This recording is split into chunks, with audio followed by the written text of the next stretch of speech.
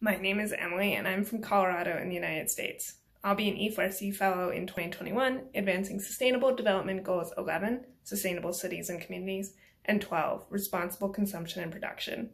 I want to apply my engineering skills for social good because I think it's vital to give back to the global community in an ethical way. As an E4C Fellow, I'll be working with TAMassociati on 3D printing buildings. I'm most excited about this fellowship because of the networking and skills I can add to my repertoire to become a better engineer. In 10 years, I hope to be working on net zero energy buildings and sustainable architectural engineering. Through this fellowship, I want to gain a better understanding of the 3D printing processes, challenges, and proper applications.